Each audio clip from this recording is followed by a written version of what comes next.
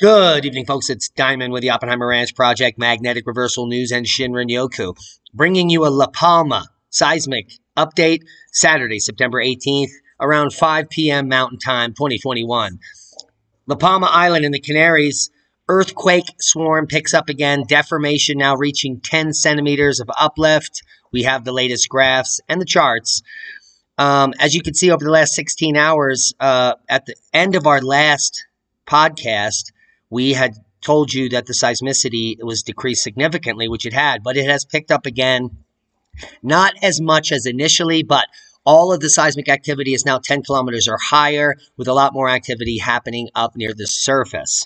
Here is that uplift that we're talking about in the portion of the island that we're most worried about for potentially calving off, and that would be the exact section we, we'd be worried about. But that is where the magma intrusion is currently happening, now 10 centimeter uplift. The latest earthquakes near La Palma in the past 24 hours, we now have 150 plus quakes, 39 between 2 and 3 magnitude, and 112 below 2, and one quake of 3.2 magnitude. So here is the latest up to date, up to the minute map, and I'm just going to refresh it to put in any new quakes.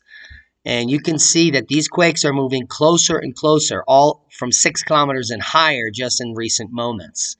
So it appears more and more likely that the magma will be reaching the surface. The most recent large quake happening moments ago, a 2.6 magnitude, well, that quake was registered at one kilometer. So it appears as if we have magma very near the surface, seismic activity picking up over the last 16 hours. And if you look at the angle of the cluster of seismicity, that is racing towards five kilometers. So uh, an eruption, a fissure, something is going to happen in a short period of time if this seismicity keeps up based on everything we know about magma, volcanic eruptions, seismic swarms, and what's going on here at La Palma.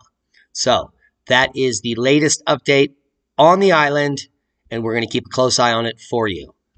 That's a boom to knowledge. Proper prior planning prevents piss poor performance. Thanks for watching. Subscribe to the channel if you haven't. To catch up, there are four other videos in this series. Just click on Magnetic Reversal News and go take a look at the videos.